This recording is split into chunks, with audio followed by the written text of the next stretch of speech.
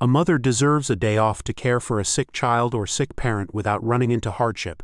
And you know what? A father does too.